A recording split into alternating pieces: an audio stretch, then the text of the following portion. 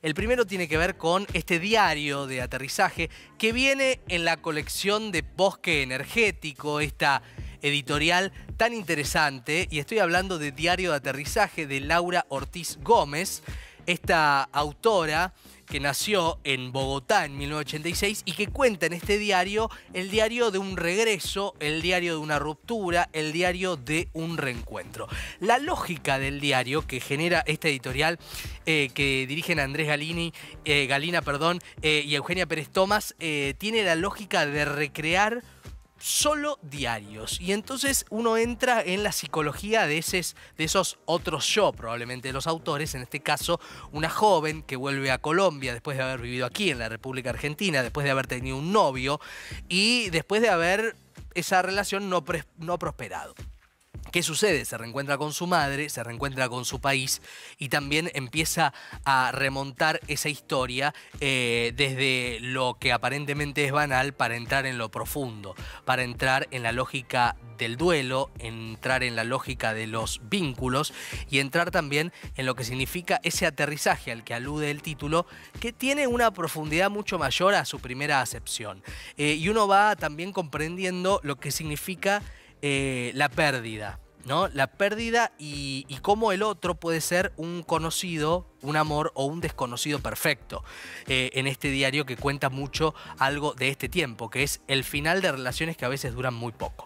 Bueno, lo destaco. Vamos al segundo, ¿quién es? Luciana Pecker. Bueno, Luciana Pecker y el amor, eso se hace. Primero es excelente el título de Luciana Pecker, que tiene libros memorables. Obviamente Darío Stanschreiber es el cómplice ideal. Y ahí está Luciana que es, como todos sabemos, una de las grandes referentes, sí, claro, una, una rockstar al mismo tiempo, ¿no? Bueno, en el amor es o se hace, lo que plantea es algunos puntos de este tiempo extraño, yo diría de transición, ojalá, entre la, mirada machirula, diríamos en lenguaje coloquial, o machista o patriarcal, del pasado, que no es del pasado, por más que todos querramos que lo sea, y este tiempo hacia unas nuevas formas de masculinidad, hacia nuevas fórmulas de vínculos, hacia nuevas formas de encuentro. ¿Desde qué lugar lo transitamos?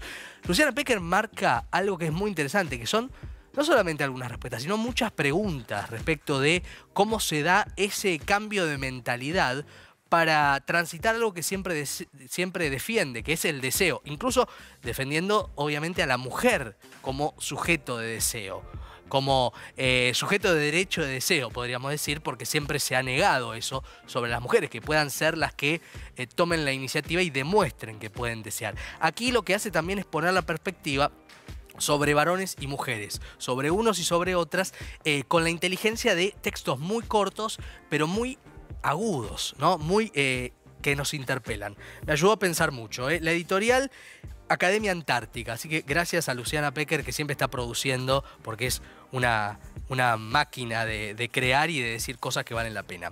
El tercer libro es una novela, me voy a lo clásico, me voy a una novela de género. ¿De género qué? Género policial, claro. Una novela de em, una historia del, estilo clásico del policial, estoy hablando de los incidentes de Agustín de Luca, Larria la editó, es muy joven este autor, tiene...